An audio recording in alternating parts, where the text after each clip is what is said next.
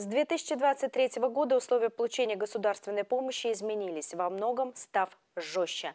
Новое универсальное пособие объединило выплаты на детей до 3 лет, пособие на детей от 3 до 7 лет, от 8 до 16 лет и пособие женщинам, ставшим на учет на ранних сроках беременности. В результате некоторые выплаты, на которые раньше могли рассчитывать все, стали выплачивать лишь избранным.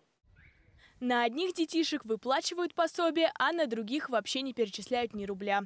Почему, чтобы получить помощь от государства, порой нужно работать и зарабатывать меньше? Ведь большинство мер поддержки распространяются лишь на малоимущие категории населения. Мы решили узнать у тверичан, как по их мнению должны выплачиваться пособия.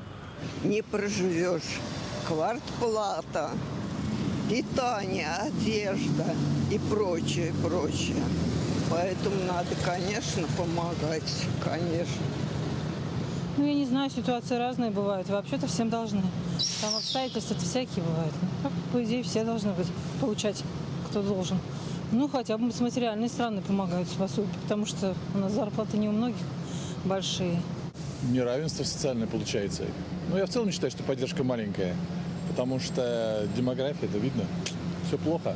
Я за то, чтобы больше одного ребенка, э, социальная поддержка была более существенной, и тогда это провоцирует семей заводить детей. Чем больше, тем лучше. Если помогать, то помогать надо всем, а не выборочно. Это мое мнение. А, я считаю, что это несправедливо, потому что каждому человеку бы не помешала бы лишняя бы какая-то надбавка. То есть я считаю, что большинство семей в России в этом нуждаются. Мало семей, которые там достаточно хорошо живут. То есть у меня много знакомых, которые ну, достаточно, ну, нехорошо живут, потому что вот этих именно пособий им не хватает. Я всегда возмущена, потому что действительно кто-то, допустим, получает 15 500, ну вот просто говорю, можно, а 15 700 уже нельзя. Я не понимаю это, я не согласна с этим. Сейчас минимум надо 30 тысяч. Это жить более-менее. Я не говорю, что это хорошо. Это жить просто не существовать, а жить.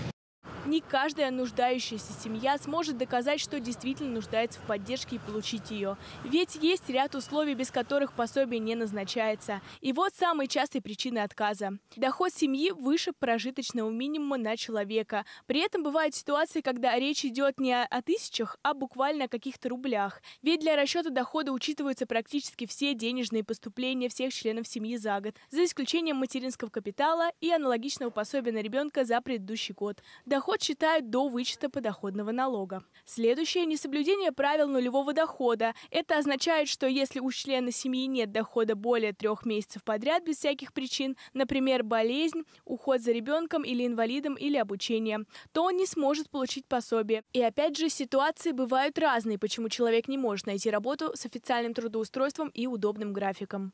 И еще одна причина – несоблюдение условий комплексной оценки нуждаемости. Если у семьи есть перечень определенного имущества, например, доли в своей квартире или в доме родителей, который, как считается, может обеспечивать достойный уровень жизни, то опять же люди не смогут получить пособие. И тут возникает вопрос, почему же одним малообеспеченным семьям оказывается господдержка, а другим, находящимся в том же статусе, нет? Может, дело не в самых совершенных законах, иногда в формальном подходе чиновников или низких реальных доходах населения? Населения. Но это уже другая история.